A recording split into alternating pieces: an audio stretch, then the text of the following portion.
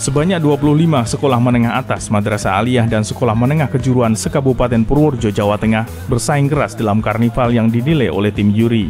Mereka tampil maksimal dengan berbagai keunikan fashion masing-masing, terlebih saat melakukan atraksi di depan panggung kehormatan.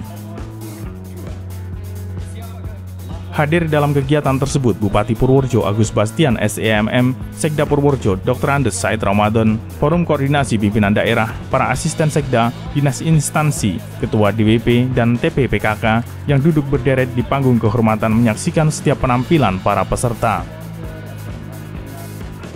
Menurut Sekretaris Pariwisata dan Kebudayaan Kabupaten Purworejo Wasid Diono Esos, bahwa karnival kali ini mengambil tema Indonesia Kerja Bersama, Karnival ini juga sebagai upaya untuk mempersiapkan diri dalam menyongsong romansa wisata Purworejo tahun 2020 yang telah dicanangkan oleh Bupati Purworejo beberapa waktu lalu.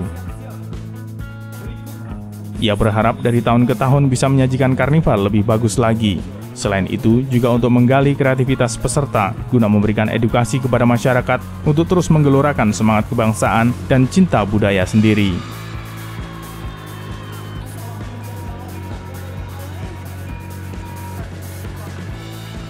Karnival tingkat SMA, MA, dan SMK itu berlangsung hingga pukul 17 waktu Indonesia bagian Barat. Dengan rute start dari lapangan Garnisun menuju Jalan Urip Sumoharjo, lalu ke Jalan Jenderal Sudirman, dan belok kanan ke Jalan Maijen Sutoyo, dan berakhir di depan kantor Dinas Pertanian, Pangan, Kelautan, dan Perikanan Kabupaten Purworejo. Cukup, cukup menyambut dengan positif karena baru sehingga masyarakat penontonnya animunya cukup tinggi.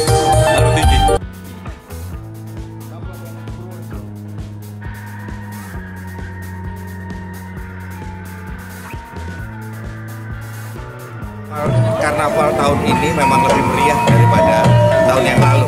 Nah ini saya ingin bahwa karnaval seperti ini, ini saya ingin dikembangkan lagi nanti di masa-masa yang akan datang. Dari Purworejo, Eko Mulyanto Widarto Bagelen Channel melaporkan.